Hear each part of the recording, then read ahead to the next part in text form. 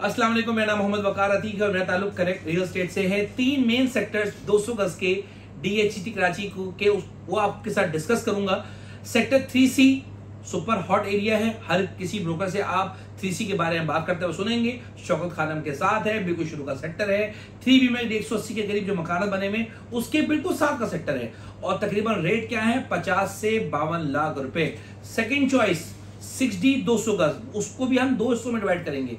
इक्यावन से लेकर तिरपन लाख के दरमियान गैस पाइपलाइन के पास और कमर्शियल के पास आपको इजीली प्लॉट सिक्स डी दो गज में मिल जाता है। तकरीबन पिछले चार से छह महीने से यहाँ पे रेट स्टेगनेंट है या रेट नीचे नहीं आया है। और अगर हम बात करें अच्छे प्लॉट्स का तो उसका रेट है तकरीबन अट्ठावन लाख से लेके साठ लाख के दरमियान, जो तीन हज़ार की सीरीज़ है, दो हज़ार गज की सीरीज़ है, दो तो ये जो प्लॉट है अठावन से साठ लाख इसका भी रेट तकरीबन अगस्त से नीचे नहीं आया है। ये भी अपनी जगह पे रेट स्टेगनेंट है। तीसरी जो कैटेगरी है वो है नाइन सी की। नाइन सी का अच्छा क्लियर प्लॉट आपको इक्यावन से लेके तिरपन लाख के दरमियान मिलेगा, जो कि आज से चार महीने पहले, यानी कि आप समझ लें पाँच महीने पहले, तकरीबन 56 57 लाख का था। यहाँ पे थोड़ी सी गिरावट आई है, लेकिन अगर हम तीनों सेक्टर्स को आपस में कंपेयर करें तो जो नाइन सी सेक्टर का रेट है, वही थ्री सी सेक्टर का रेट है। तो तीनों सेक्टर में से अगर हम कोई चॉइस करें तो सबसे पहला चॉइस क्या बनेगी? मेरे लिहाज से वो है सेक्टर थ्री सी वजह उसको बताया तुम, कि अगर हम तीनों सेक्टर्स की बात करें तो तीनों में कहीं पे भी डेवलपमेंट नहीं हुई हुई तीनों में सिर्फ़ थ्री सी है जिसका ऑफिशियल मैप आया हुआ है। तीनों में कहीं पे भी डेवलपमेंट नहीं हुई तो कंस्ट्रक्शन भी अलाउड नहीं है। लेकिन एक फ़र्क है, वो ये है कि डीएचटी कराची की जो वॉल है सिक्स और नाइन सी उसके अंदर आता है और ये पुराने सेक्टर्स है। जबकि जो थ्री सी है, वो वॉल के अंदर भी फ़िलहाल नहीं है, लेकिन आने वाले वक्तों में डेवलपमेंट होगी तो ये वॉल एक्सटेंड वॉल एक्सटेंड करके पीछे की तरफ़ भी चली जाएगी। ये नया सेक्टर है थ्री सी यहाँ पर अभी अवेलेबिलिटी है अलॉटीज हैं, जो कि अपना प्लॉट बेचने के लिए आ रहे हैं। इसीलिए ये इक्यावन बावन लाख में मिल रहा है, और कोई वजह नहीं है। अच्छा अब वो लोग जो सिक्स डी और नाइन सी को रखे हुए हैं, उन्होंने होल्ड किया हुआ है उन्हें क्या करना चाहिए? क्या उन्हें आगे बढ़ना चाहिए, नीचे बढ़ना चाहिए? लेकिन देखिए मैं आपको बड़ा वाजे बता दूँ कि 6D और 9C में फॉल नहीं आया है। यहाँ रेट नीचे नहीं आए हैं। अच्छी खासी डिमांड थी। इसमें मैं चलो एक चौथा सेक्टर तेरह भी एड ऑन कर लेता हूँ कि वहाँ पर भी रेट नीचे नहीं आया। वहाँ पर भी रेट तकरीबन 59 से लेके 61 लाख तक का रेट है। उसका भी रेट नीचे नहीं आया है। वो लेकिन उसमें एक फ़र्क ये है कि वो डेवलप्ड है कंस्ट्रक्शन अलाउड है और ऑफिशियल मैप आया हुआ है। इन चारों में तेरह भी इसलिए थोड़ा सा अलग हो जाता है। इन तीन सेक्टर्स को मैंने इसलिए साथ लिया था क्योंकि तीनों में ही डेवलपमेंट नहीं हुई, तेरह बी में, जबकि डेवलपमेंट हुई भी है, और तेरह बी को लोग ऊपर रखते हैं।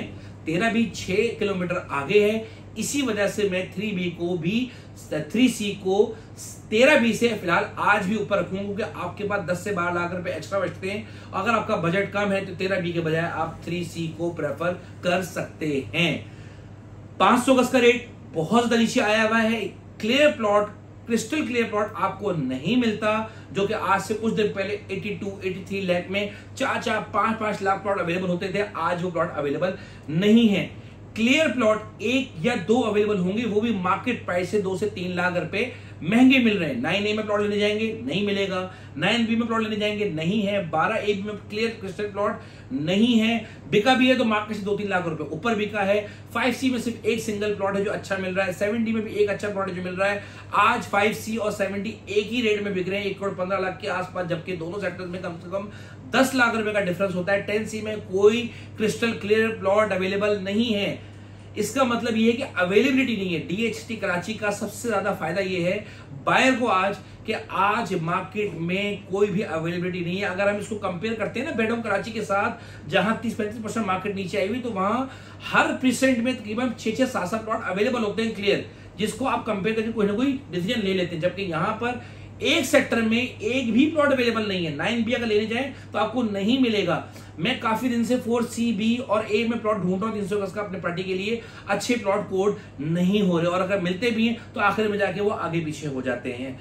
अवेलेबिलिटी नहीं है, आगे इन फ्यूचर दिख क्या रहा है, ये भी आपको बता दूँ कि चार छह महीने तक मुझे मार्केट स्टेगनेंट दिखती है, मुझे बहुत ज़्यादा गिरती मार्केट नहीं दिखती। उसकी सबसे बड़ा रीजन सप्लाई है। सप्लाई मौजूद ही नहीं है। इसका सबसे बड़ा सप्लायर अलॉटी है, जो कि अपने पैसों को यहाँ से बेचकर पंजाब ले जाता है। वहाँ भी मार्केट डाउन है।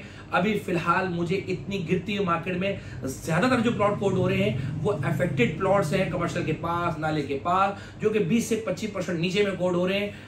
ये मार्केट अपडेट है। कोई भी डिटेल पूछनी हो, मुझसे रब्ता कर सकते हैं। जजाक खैर। Thank you